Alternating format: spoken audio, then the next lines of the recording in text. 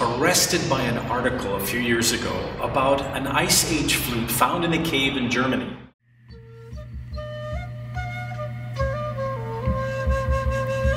It was apparently the first humans that had arrived in that area, and um, they found it in layers of mammoth uh, relics.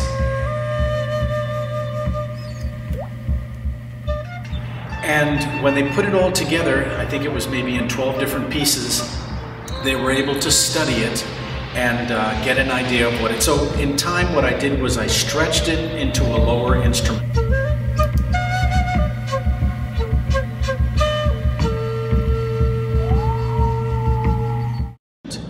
And uh, this is what I call my Ice Age flute. For little money, it's called your Ice Age flute. But here's uh, what it sounds like.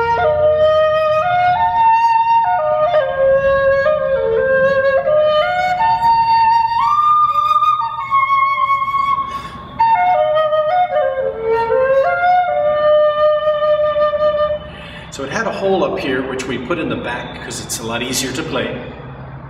And uh, four holes in one, so it's kind of like a pentatonic scale. And um, it had an end blown looking uh, mouthpiece, so uh, that is a grin, a lift, and a tilt. Pressing upwards, not a pucker because you get dizzy, but a grin.